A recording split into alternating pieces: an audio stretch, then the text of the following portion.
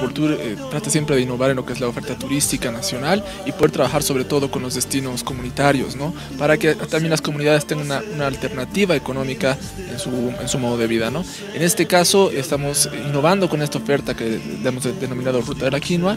Tenemos, bueno, dos circuitos y en, este, en esta ocasión hemos visitado el circuito del lago Titicaca, que integra los municipios, municipios de Pucarani, de Batallas y de Puerto Pérez, ¿no?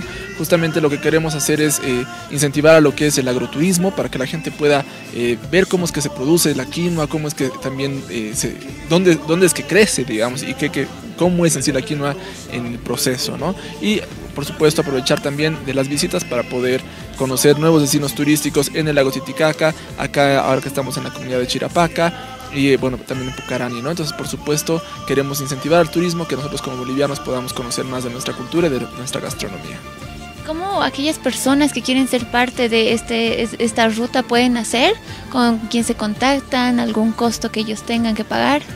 Bueno, sí, estamos ya eh, estructurando la oferta, ya va a estar muy pronto eh, en Volturi, va a ser de, forma continua, la gente puede ir a nuestras oficinas que están en la Plaza Murillo o también en nuestros datos de contacto y la oferta va a estar eh, muy pronto ya disponible para, para el público.